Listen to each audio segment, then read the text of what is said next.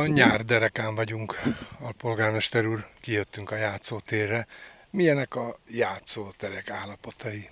Igen, a Diós kertben vagyunk, azt mondhatjuk, hogy ez egy emblematikus hely, itt azt hiszem, itt készült velem az első felvétel 5 évvel ezelőtt, és azt gondolom határozottan, hogy a város egyik legszebb teréről beszélünk a Diós kertről, és ugye itt állunk a játszótér közepén.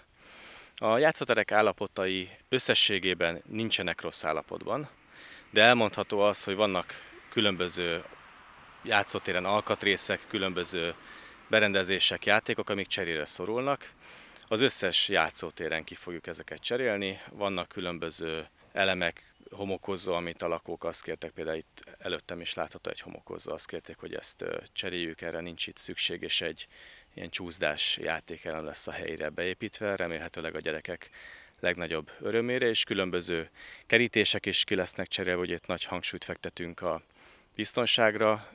Egy nagyobb kerítéselem is cserére fog kerülni a Tüskevár köznél, ott ki lesz cserélve a sok helyen elkorhat fakerítés, ami ugye nem nyújt megfelelő biztonságot a gyerekeknek, és összességében elmondható, hogy az összes játszótér meg fog újulni, hol jobban, hol kevésbé, de erre biztosította a képviselőtestület a megfelelő forrást, úgyhogy azt gondolom, hogy ez egy óriási előrelépés lesz többek között a családosoknak és a gyerekeknek.